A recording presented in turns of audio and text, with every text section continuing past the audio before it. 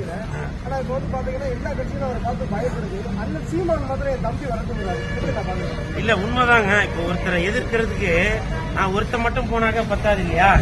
அதனால என் கூட ஒரு ஒரு நாலஞ்சு பேர் இருந்தாங்கனாக்கா எதிர்க்கிறதுக்கு ரொம்ப ஈஸியா இருக்கும் அதனால நம்ம சீமான் அண்ணன் அவர்கள் சொல்றது கரெக்டு தான்.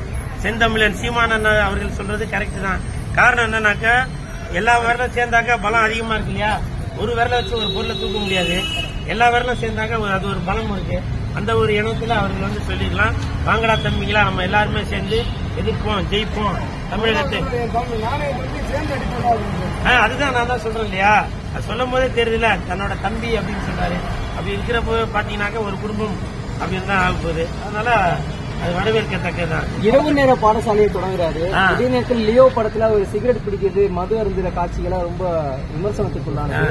இரவு நேர பாடசாலை ஆரம்பிக்கிறது நல்ல விஷயம் தான் ஏன்னா இவங்க எல்லாம் இருக்காங்க. சில பேர் வந்து பகல்ல வேலைக்கு போறாங்க. ஆனா அவங்களுக்கு வந்து படிக்கணும்ன்ற ஒரு எண்ணம் இருக்கும். நம்ம பகல்ல வேலைக்கு போனாதான் சாப்பிட முடியும் வருமானம் வரும் அப்படின்ற ஒரு எண்ணத்துல பகல்ல வேலைக்கு போயிட்டு நைட்ல படிக்க போறோம் நைட்ல போய் படிப்பாங்க. அது ஒரு நல்ல விஷயம் தானே அது. அதனால இரவு நேர பா- நேர பாடசாலை வர்றது நல்லதுதான். நான் கூட மேற்கொண்டு நிறைய படிக்க முடியல. ஒருவேளை விஜய் சார் வந்து இரவு நேர பாடசாலை ஆரம்பித்தார் ஆரம்பிக்க தான் போறாரு போல.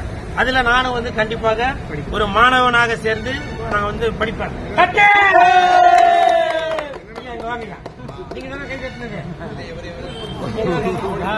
பாருங்க ஒரு ஒரு நாற்பத்தஞ்சு வயது மதிக்கத்தக்க அந்த மனிதர் அவர் கூட வரவேற்கிறாரு. ஆ, அறுபத்தஞ்சு வயசு இருக்கும் போல. அவர் கூட வரவேற்கிறாரு. இதுதாங்க புதுசா பண்றது அப்படின்றது. பண்ண மாட்டேங்கிறாங்க. படம் அப்படின்னு பண்ணிட்டு போயிருக்காங்க. விஜய் மட்டும் இந்த மாதிரி ஒண்ணு மேற்கொள்வது எப்படி நான் பாக்குறீங்க இல்ல அதுதான். ஒரு ஒரு புதுமையான தமிழகத்திற்கு புது புது விஷயங்கள் கொண்டு வருவோம் அப்படின்னு சொல்லி நினைக்கிறாரு.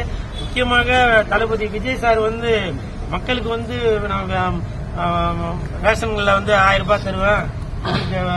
ரேஷன் அரிசி தருவேன். சிலிண்டர் தருவேன். இப்படிலாம் திட்டங்களை விட மக்களுக்கு வந்து மாணவர்களுக்கு படிப்பை கொடுத்து படிப்பை கொடுத்தாக்கா தட்டு படிப்பை கொடுத்தாக்க இது யாரும் திருட முடியாது. அது படத்துல கூட வசனங்கள் வந்திருக்கான். இல்லையா? காடு இருந்துச்சுனாக்க புடிங்கிப்பாங்க. பணம் வீடு எல்லாம் இருந்துச்சாங்க புடிப்பாங்க இல்லையா? படி- படிப்பு இருந்தாக உங்களால புடிங்க முடியாது அப்படின்ற விஷயத்த சொல்லிருக்காங்க நல்ல விஷயம் தான் அது. அடுத்த காமராஜரா அந்த ஆட்சியை தமிழ்நாட்டுல யார் கொடுக்க விஜய்? அது இனி போக போக தான் தெரியும். ஏன்னா ஒவ்வொருத்தங்களும் ஒருத்தங்களும் வரும்போது நம்ம வந்து புதுசா ஒரு விஷயத்த கொண்டு வருவோம் அப்படின்னு தான் சொல்லுவாங்க. அவங்க ஏன்னா அந்த ஆட்சி கட்டில் அப்படி அந்த சேரு அந்த நாற்காலி ஆட்சி நாற்காலி அப்படின்ற அது ஒரு சக்தி வாய்ந்தது. அதுல உட்கார்ந்த உடனே சில பேர் மாறலாம். சில பேர் வந்து எப்பவும் உள்ள தன்மையாவும் இருக்கலாம். அதனால அந்த சேர்ல உட்கார்ந்ததுக்கு அப்புறம் தான் அவங்க என்னென்ன விஷயங்கள் பண்றாங்க சேர்ல உட்கார்ந்து இருக்கிற இப்ப இருக்கிறவங்க வந்து சரியா ஆட்சி அது தெரியல சார். நீங்க கேட்ட கேள்வி என் விழுது. ஏன்னா நம்மளே ஏதோ இது பண்ணிட்டு இல்லையா? என்ன சொல்றீங்க? அதுக்குதான் வேற இப்போ ஒரு அரசியல் பொண்ணு புதுசா தொடங்குறாங்க. இல்ல புதுசா ஒருத்தர் அரசியலுக்கு வராருன்னா இதுக்கு முன் நடந்த அரசியல் வந்து எனக்கு பிடிக்கல. இல்ல அவருக்கு வந்து மாற்றத்தை உண்டு பண்ண போறாரு அப்படின்னா ஒரு குறிப்பிட்ட சிலரை எதிர்த்து அரசியல் செய்யணும். அப்படி எந்த ஒரு ஸ்டாண்டுமே இல்லாம விஜய் வந்து ஒரு கண்ண மூடிட்டு இறங்குற மாதிரி இது இல்லையா? அப்படிலாம் இல்ல. அவர் வந்து தொலைநோக்கு பார்வை இப்பவே பாக்குறாரு போல. இனி வரும் காலங்களில் மக்களுக்கு என்னென்ன வேணும் மாணவர்களுக்கு என்னென்ன வேணும் அப்படின்ற விஷயத்த இப்பவே அவர் வந்து சிந்திச்சு தன்னுடைய ரசிகர்கள் மூலமாக வெளிப்படுத்திட்டு வராருன்னு நினைக்கிறேன். நீங்க என்னவோ கேக்குறீங்களே சார். ராஜேஸ்வரி. அக்கா வந்து என்ன சொல்றாங்கன்னா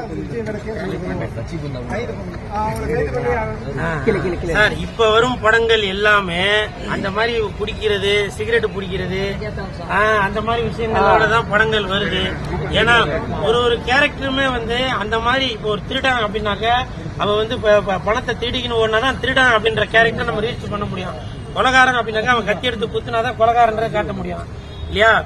கொலகாரன்னு நம்ம காட்டும் போது அவர் ஐஸ்கிரீம் சாப்பிட்டுருந்தாக்க நீங்க கொலகாரன் ஒத்துப்பீங்களா? இல்லையா?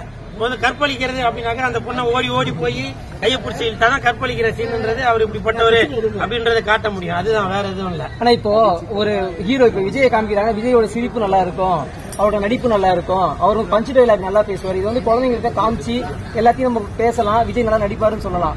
விஜய் நல்லா சிகரெட் பிடிப்பாரு விஜய் நல்லா தண்ணி அடிப்பாரு இந்த சீன் நல்லா இருக்கும் நம்ம சொல்ல முடியுமா? சார் நான் ஏற்கனவே சொல்லியிருந்தேன் சார் நானு. கில்லி படத்துல கபடி வீரரா வருவாரு. அத பார்த்துட்டு எத்தனை பேர் வந்து கபடி வீரரா இருக்கீங்க?